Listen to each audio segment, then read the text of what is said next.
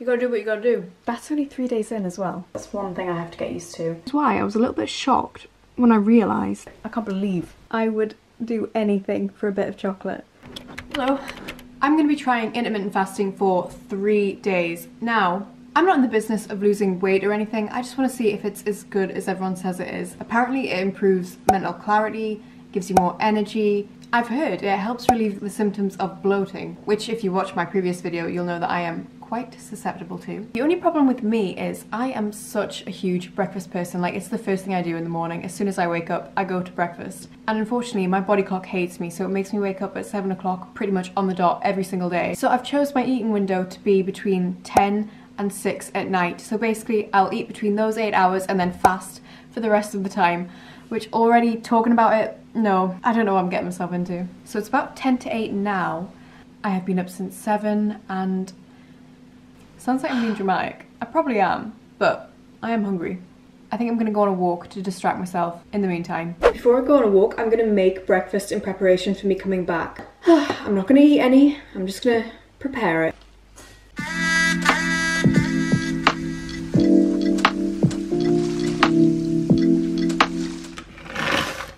Oh my god, I've run out of chocolate chips. Oh no. It'll have to do.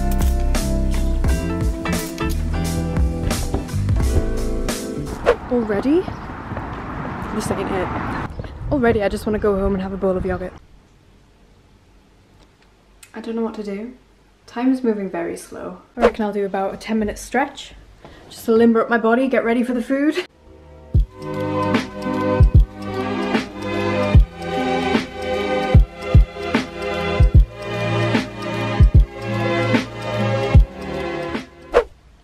Half a pot of yogurt in there breakfast cookies, two of them, a few berries. It's extremely thick. Just waiting. Okay. Ready. I hope that gets easier because that was hard. I'm not being dramatic. Well, I am. Mm -hmm. Thing is, I feel like my day has only just begun now when in fact I've been up for three hours and I really haven't been that productive, which is a little bit annoying. I just felt like my day hadn't started yet. Stupid reasoning. I'm just doing a bit of editing now and um, I feel like I've got so much more energy which is what we wanted. I think the biggest thing here is to make sure that I eat enough throughout the day to make sure that I get enough food in in this little eating window because that's to be quite hard so I should probably have some lunch. Before I know it, it will be time to make dinner. I'm gonna try and make it as hearty as possible just because I know I need to pack the food in before I'm not allowed to eat again. I'm gonna do that thing where you blend avocado with white beans to make it more of a complete meal. I'm just gonna use the whole avo. I need to get my food in. And this is where we don't judge because I'm gonna add mussels. Honestly, they're one of my favourite things ever. With a bit of lemon juice, bit of chilli, can't go wrong.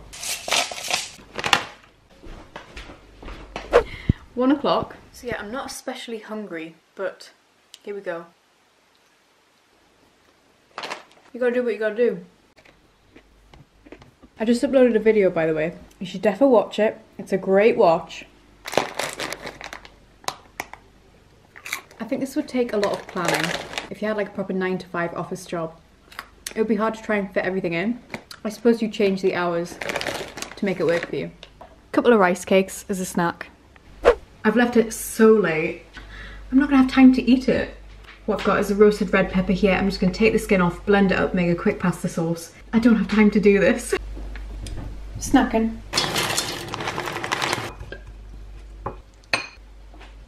This is um, red lentil pasta that I get from Aldi. It's so cheap and it's really tasty. Even though I'm not that hungry, I am actually enjoying my food. I'm not not hungry, but I'm not hungry. You know? I need to hurry up, so. Bang on time.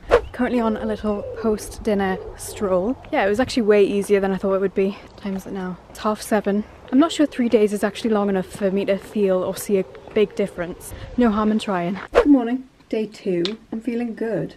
It's half seven now. I slept soundly through the night, so that was nice. I don't feel overly hungry, like I definitely feel like I could wait. I mean, I normally leave a bit of a gap before going to bed after eating my last meal, but that felt good to leave that much of a gap. So this might not just be a three day thing. This could be a lifelong change. I'm going to try and get things done this morning. I've got a load of washing to do, so we'll do that. I'm going to be taking full advantage of the fact that coffee is allowed during the fast. Just letting you know.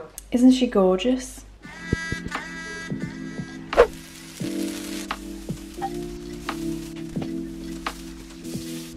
Made cauliflower hash browns and then just put a soft boiled egg on top and called it a day.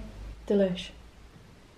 I needed something salty. Half ten now. I wasn't even thinking about my breakfast. That's the thing, that's why it's a little bit later. I haven't caught up with you in a while, but I'm feeling good. I've been doing pretty well today. I've been snacking more, so my energy levels have been kept up, which is good. I had some more of those oat cookies that I made yesterday. I had some olives, I had some more rice cakes, and now it is one o'clock. Ta-da! I'm about to eat my lunch. I don't really have anything to say. I'm enjoying myself. I'm having a good time. The thing is, nothing's really changing. I'm not changing the type of food I'm eating. I'm just changing the hours in which I eat. I'm not eating anything different. But it feels really natural. Something that I've noticed is that water is very filling.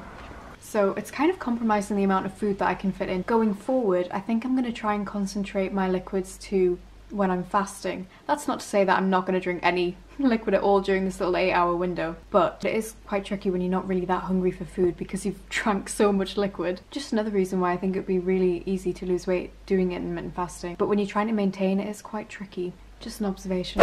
I've done it again.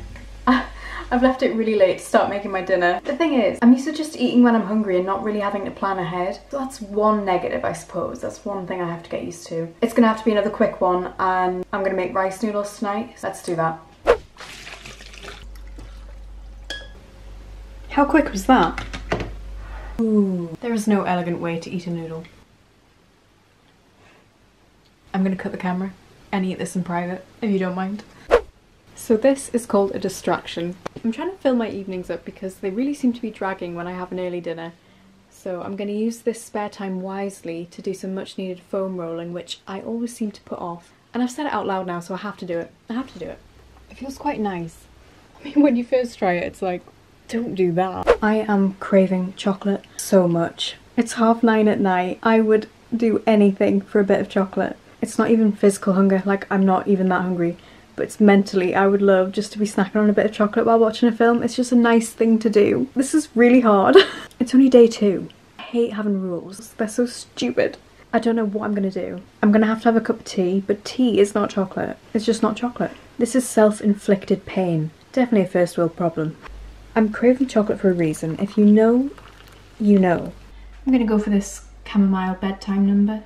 So you know those days when you wake up and you're a little bit more fluffier, a little bit puffier than usual? Basically, you're bloated. Normally I don't think twice about it because it could be due to a number of reasons. You might not have drunk enough water the day before, you might have had really salty food, it might be due to your hormones, a number of reasons. Which is why I was a little bit shocked when I realised. Let me show you.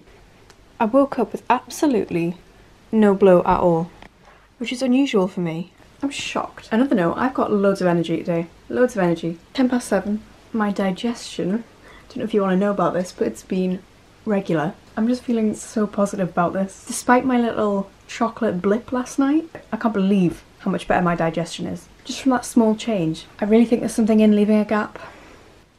That's only three days in as well. Everything was pointing against me. I had really salty noodles last night. It's my time of the month, so it would be completely normal for me to be a bit bloaty. I don't know if it's completely to do with the fasting. Honestly, I can't think of anything else. I've eaten exactly the same that I would have normally. Did I mention I've got a lot of energy? Because I have. So I'm going to do a morning workout fasted, which is something that I never thought I'd do. I don't know where this has come from. It's 20 past 7 and uh, I'm going to get hench. Never saying that again.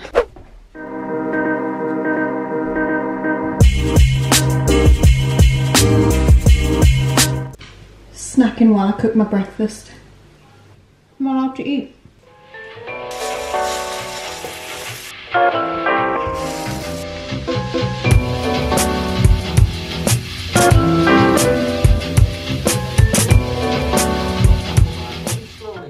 Thought I'd let you know that that clock is always incorrect. Actual time is quarter past one. If you ever see it in the background, it's lying. Honestly, the only thing that I actually don't like about this is I have breakfast and then I immediately have to have something for lunch. Like I don't find there's enough of a gap for me to be hungry. But I do feel very energized and alert. So I'm gonna make myself a chili because it's really grey outside and chili sounds good.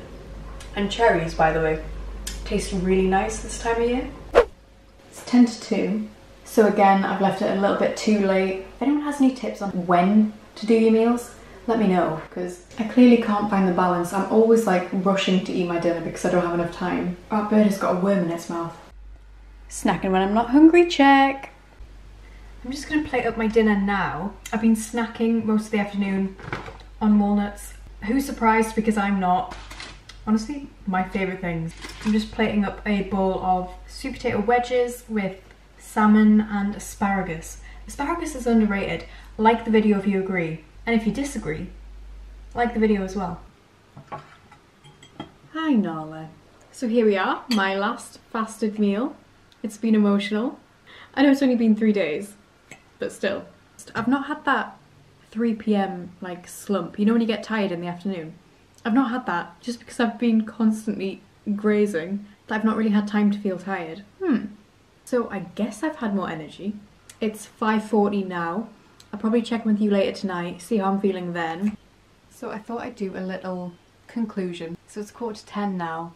I've been going to bed feeling really good. I don't feel stuffed or uncomfortable. I just feel neutral, which is probably a good thing. This is after a full day of eating, so I'm kind of impressed. Like normally when I'm going to bed, I at least have a little bit of swelling. So I think one thing that I'm going to take away from this is I'm probably going to start eating my dinner a little bit earlier because that has been amazing because my digestion has been c'est magnifique. I shan't be carrying the rest of it on. I'm too much of a breakfast person and I don't like rules. I also don't like the idea that I couldn't eat a bit of chocolate if I fancied it in the evening. Basically, I don't think the benefits are enough for me to do it long term. But it was definitely fun to try. Thank you for watching. I hope you enjoyed the video. Um, if you want me to do more things like this, just let me know. Give the video a like, subscribe to my channel, follow me on Instagram, and hopefully I'll see you in the next one. Bye.